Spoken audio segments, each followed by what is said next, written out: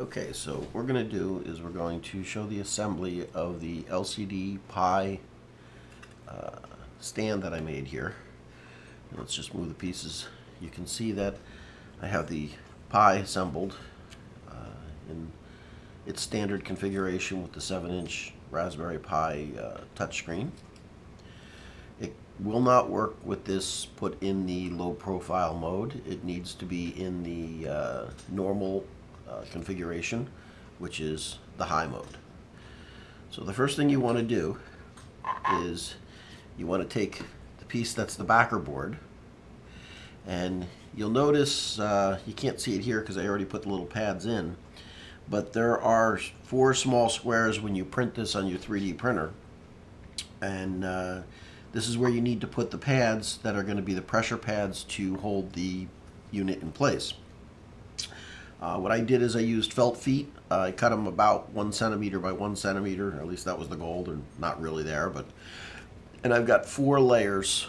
Uh, I don't know the exact dimension. It's a little bit less than a centimeter thick. You can play with it to get the exact thickness as you put it together. And uh, you're going to put them at the four spots which are marked on the bottom under here. Once you have those, you want to turn this unit over and you're going to use a little bit of glue. And all you're going to do is you're going to take, let's see if this is going to come out of here for me. Looks like uh, we're going to have a bit of a, oh, there we go. You're going to take a little bit of silicone glue and you just need to put it in the edge in a couple spots, not a lot. This thing does fit reasonably snug and this is just to hold it in place. You can see there's some glue from when I tried it once before and it held fine. You just want to put a little bit in there and there. You don't need to put any in the front corner here because over here you'll notice I don't know if you can see it in the camera but everything is recessed so when the piece goes in it will uh, lock in on the nose. So the CPU box this will only go in one way this channel here was put on it to accommodate the ribbon cable. And uh, you're just going to take and you're going to slide it in so that you put it in on the edge first, slide it under there, and then just lay it down in. And that's just going to sit just like that. Flip the unit over and put it down. That's the easy part. Well, actually the whole thing is pretty easy. Take your Raspberry Pi assembly, Again, this can only go in one way because you have the channel for where the ribbon cable lays. And between this channel and the spacing here, there won't be any kinking. You won't damage this connection here. And you're just going to take this, flip it over, and you're going to lay it in that hole and just set it right down. It'll set right down on those pads. No worries. That's the nice, easy setting. And then, after you have that in place, you're just going to take the bezel piece. Now this is the front display piece which would normally go on just like this, but what you want to do is take another set of those little pads and you want to put those pads here, here, here, and here. And what they're going to do is they'll press right up against the edge of your LCD display out of sight, but they'll provide a little bit of uh, soft padding so that nothing is going to scratch it from the plastic. It won't rattle around. It'll hold it snug and it'll be a nice clean space for the way it's put together.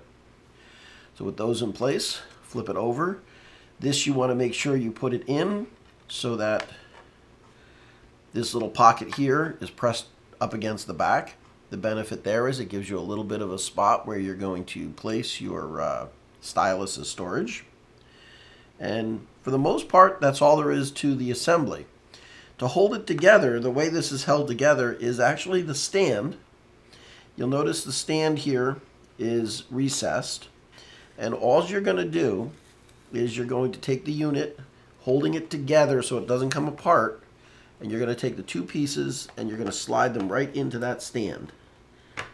That acts as your bottom layer clip to hold everything in place.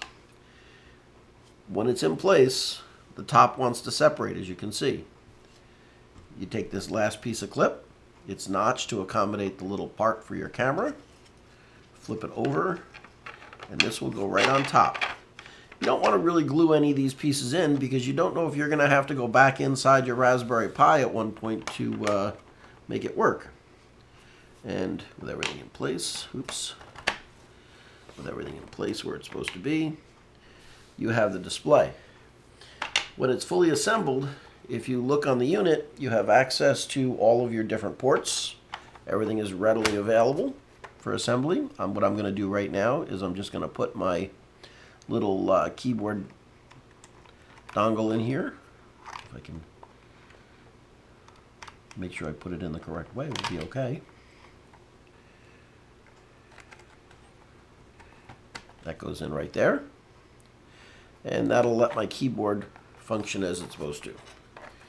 I don't have power over here where I'm sitting, but you'll be able to see what it looks like basically when I have it all setting in front of one another. And that is the Ice Pick designed uh, Raspberry Pi 3 with the 7 inch LCD touch display mini computer.